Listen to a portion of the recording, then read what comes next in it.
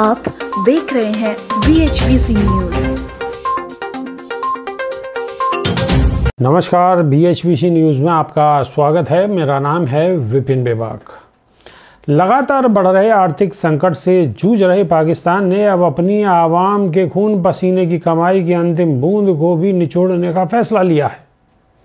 IMF की शर्तों के आगे घुटने टेक चुकी पाकिस्तान की शहबाज शरीफ की सरकार ने एक दिन पहले ही 170 अरब रुपए के नए टैक्स लगाने की घोषणा की है। खबर के मुताबिक सरकार ने अब 150 ज़रूरी दवाओं के दाम बढ़ाने का मन बना लिया है।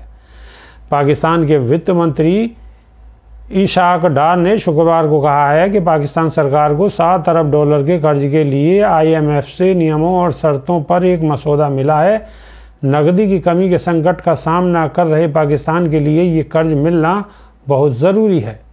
आईएमएफ, एक टीम ने इकतीस जनवरी से 9 फरवरी तक इस्लामाबाद का दौरा किया, जिसमें उसे दिए जाने वाले कर्जे की शर्तों को लेकर बातचीत हुई। पाकिस्तान सरकार को आईएमएफ की शर्तों को मानने के अलावा कोई और विकल्प भी नहीं है।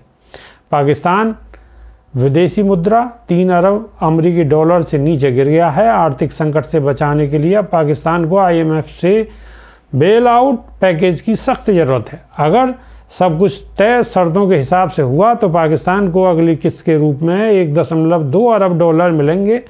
आईएमएफ की शर्तों पर पाकिस्तान सरकार की सहमति के बाद वित्त मंत्री डार ने कहा है कि देश में 170 अरब रुपए का टैक्स लगाया जाएगा। हालाँकि उन्होंने कहा है कि सरकार यह सुनिश्चित करने की कोशिश करेगी कि टैक्स का सीधा बोझ आम जनता पर न पड़े। इसका मतलब यह है कि पाकिस्तान की आम जनता को आने वाले वक्त में और महँगाई झेलना होगा। अभी के लिए सिर्फ़ इतना ही। नमस्कार।